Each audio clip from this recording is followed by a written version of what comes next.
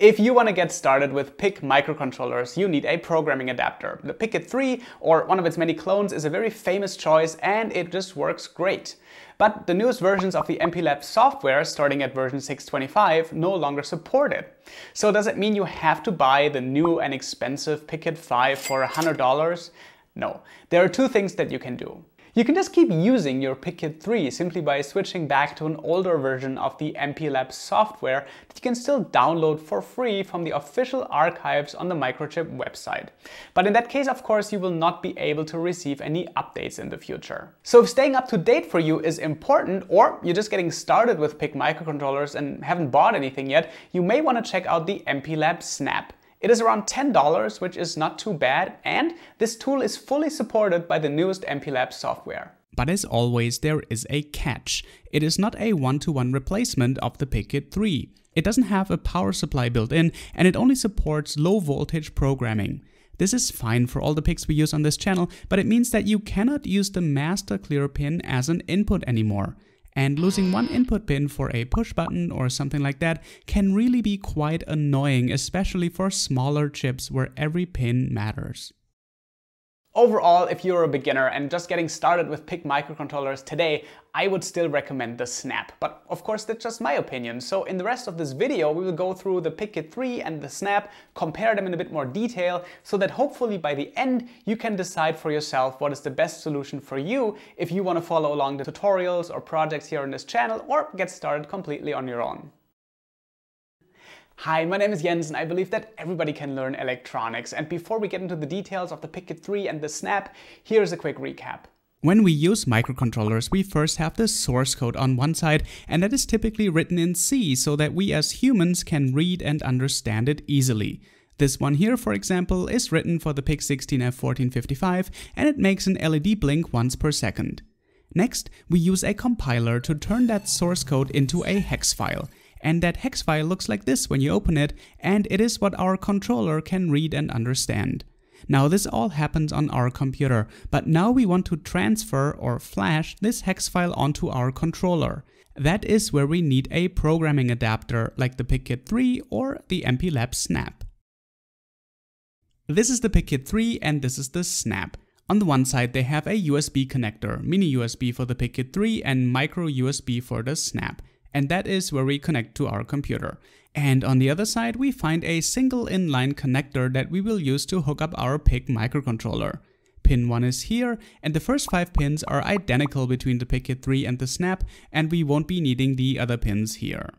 The PICkit 3 of course comes in its iconic red housing, but the Snap is just a PCB with some rubber feet on the other side. So it is much smaller and cheaper to make, but the in my opinion biggest problem is that it is completely unprotected with such an exposed PCB.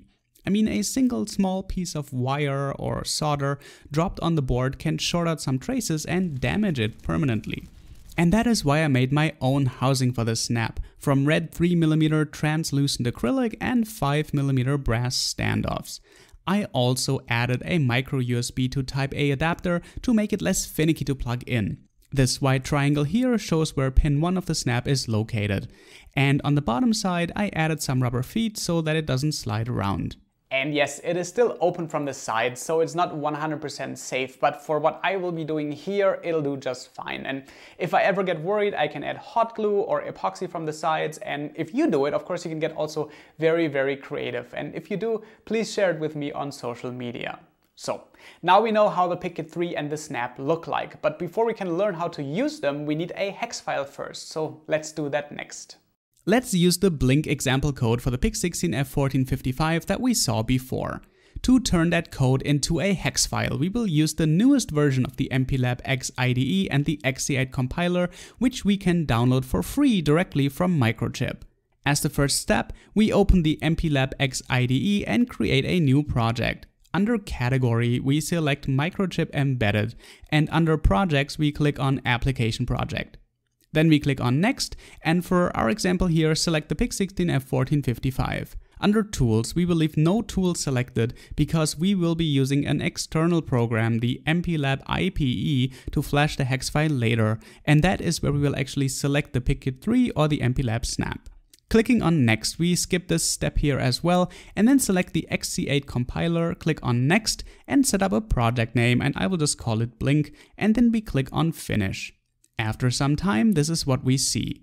We close this code configurator here, open the projects tab on the left hand side, right click on source files, then on new, and then select main.c. We set main as the file name and click on finish. And here we can copy and paste our Blink source code and you can find that code in the companion article to this video as well. The link is in the video description. We then click on the hammer and broom symbol up here to compile the code. After that is done, we can go to the directory of our main.c file and we can find our hex file. It is deeply hidden in the subfolder dist default production. And finally, there it is. So now that we have the hex file, we can connect the PIC microcontroller to the PICkit3 or to the snap. The connections are identical and they are called master clear, VDD, ground, program data, and program clock. VDD and ground is where we connect the power supply, and the other three connections are in charge of transmitting the hex file. For both the PICkit3 and the snap, the connections go from pin 1 to 5, and also in both cases, pin 1 is the pin on the rightmost side or the one with the small triangle. And on the other side, the controller that we want to program has matching pins for VDD and ground of course, but also for master clear, program data, and program clock. Here is the datasheet for the PIC16F1455 from our example, and here are all five connections we need. Of course, this is just an example today for the PIC16F1455 and chances are you're using a different controller. And if you don't really know what the correct pins for your PIC are, please let me know here in the comments so that I can help you out. And this here is how this looks like for the PIC16F1455 example in a schematic. We use this symbol here for the PICkit 3 and this one for the snap, but this is really just cosmetics because the connections are exactly the same. We also place an LED from pin RC3 to ground with a resistor because our example code will make that LED blink once per second and this here is an optional 4.5 volt battery pack with an on-off switch that we can use as a power supply for our circuit. And here is how that looks like when we build it on a breadboard in real life we can connect the same simple 5 terminal connecting cable to our breadboard like this because the first 5 pins of the PICkit3 and the MPLAB snap are completely identical and then plug in either the PICkit3 or the snap on the other side. And then we are ready and we can open the MPLAB Integrated Programming Environment or IPE for short to flash our hex file onto the PIC16F1455. Now here's where things get different. For the Snap, you can of course use the newest version of the software, which is version 625 at the time of filming. But for the PICkit 3, you need an older version up to version 620. And because that is a little bit tricky, let's start with that. So we need to download the last PICkit 3 friendly MPLAB version, which is version 620. And as always, you can download MPLAB for Windows, macOS, and Linux. If you have already installed the latest MPLAB software package like me and only need the integrated programming environment to use with the PICkit 3, then during the install you can select that option here. That avoids having two copies of the MPLAB X IDE on your system, which is nice because it saves some memory. And after the installation is complete, we have both version 620 and 625 on our system and we can freely choose between them. We now plug the breadboard cable into the PICkit 3 and then connect the PICkit 3 to our computer via USB. This way, starting up the IPE version 620, you will see the PICkit 3 already selected under Tools. And fun fact, you can also plug in the USB connection of the Snap if you like, and then you will see both of them here at the same time. But having two programmers active at the same time can be a bit confusing, so I will disconnect it again here and we will get back to the snap later, because now it is time to use the PICkit 3. As the next step, we select the PIC16F1455 under Device and click on Apply and then on Connect. At this point, the IPE asks us to make sure that we really connected the PIC16F1455 and if we would like to continue, to which we say OK. But after a few moments we get an error message. Target device was not found. This is because we forgot to turn on the external battery pack. So the logical thing would be to turn on the battery pack. So let's click on disconnect and sure enough, when we turn on the battery pack and repeat our steps, we then see the message target device PIC16F1455 found. But with the PICkit 3 there's also another way. To see this, first remove the battery pack. Then after switching to settings advanced mode, we can enter the default password, which is microchip, and go to the power settings. Here we select power target circuit from PICkit 3. This tells the PICkit 3 to supply the circuit with power, and I find this PICkit 3 only option really quite convenient. And once we have turned this feature on back in the Operate tab, we again click on Disconnect and repeat the previous steps, and then we see the message Target device PIC16F1455 found. We can then select the hex file that we compiled a minute ago by clicking on Browse in the hex file line right here. Then we can click on Program, and after a few moments we should see the message Programming complete and our LED is blinking. So now that we know how to do this with the PICkit 3, let's do the same steps again, but this time with the snap, so that we can see what is the same and what is different. So let's disconnect the PICkit 3 and replace it with the snap. And let's not forget to reconnect the battery pack and to turn it on because the snap, unlike the PICkit 3, always needs a dedicated power supply. And of course we also need to plug the snap into our computer via USB. Now we can open the MPLAB IPE and here we will use the newest version 625 and the snap should already be visible as a tool when the IPE opens. In the line above, type in PIC16F1455 and click on apply and then click on connect. After a few seconds we should see the message target device PIC16F1455 found.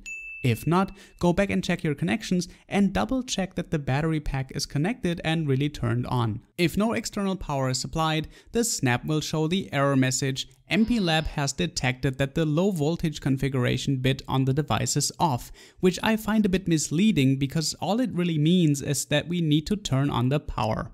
But now that the PIC16F1455 has been detected, we click on Browse in the hex file line and select the hex file we created a few minutes ago and then we can click on Program. And then very quickly it says Programming Complete. This part is actually much faster than with the PICkit 3, but the result is the same. Our LED is blinking.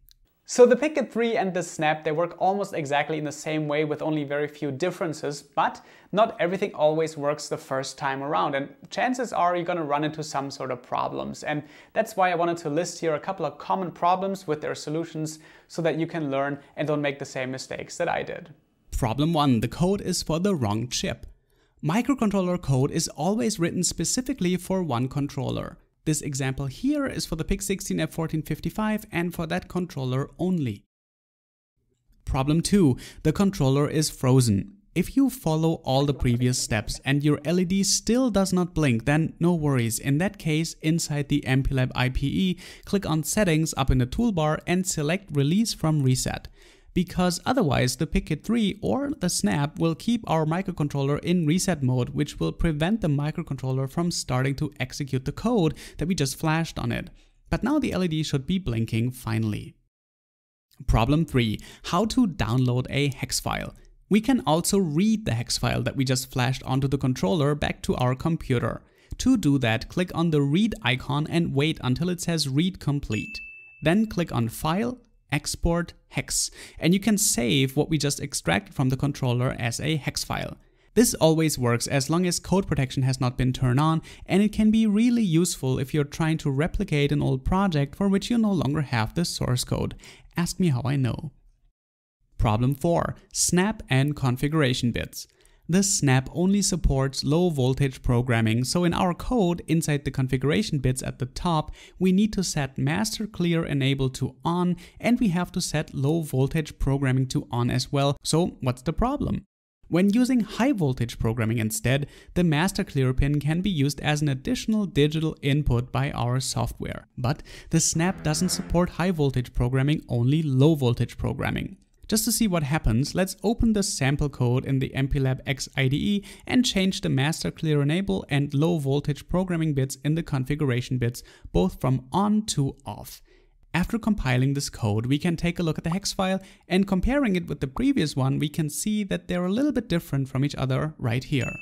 Back inside the IPE, when we now load this and click on Program, the Snap notices that difference and lets us know that it cannot proceed without changing the Master Clear Enable configuration bit and even if clicking Yes, it still throws an error message because the low voltage programming bit has the incorrect value because we turned it to off. This leaves us with no choice but to set both low voltage programming and Master Clear Enable back to on. For this example here today, it's not a problem because we are only making an LED blink, but unfortunately all of the codes on this channel here have low voltage programming and master clear enable turned to off. And these projects here on YouTube, for example, actually use the master clear pin as a digital input. This means that for those projects, you actually have to use the PicKit 3 or one of its clones as a programmer and you cannot use the snap. So yeah, this last part is a bit of a downer, but I think also not the end of the world. So what is my advice?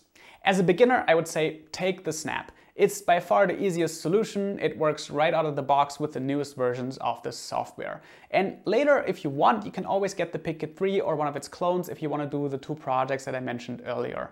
But in that case, of course, keep in mind that the PicKit 3 needs an older version of the MPLAB software.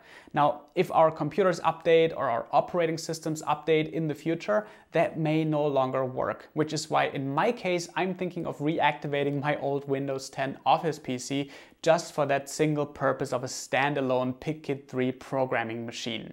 So I would say that as a hobbyist, the combination of the PicKit 3 and the Snap is probably the way to go. Now, if you're running a makerspace or you want to make use of the most powerful PIC microcontrollers out there, there's really no way around the more expensive PicKit 5, but I think in that case, your budget will probably reflect that. But here's my most important piece of advice. Go out there and get started. The best tool is the tool that you already have. So thank you so much for watching. Let me know what else you want to learn and I'll see you next time.